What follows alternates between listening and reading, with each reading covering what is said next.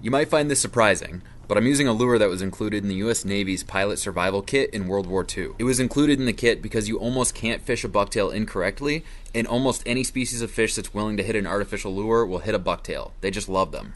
And that's why so many fresh and saltwater anglers still continue to use them to this day, including myself. If you want to see the full video, please check out my channel, and don't forget to subscribe. Thanks for watching.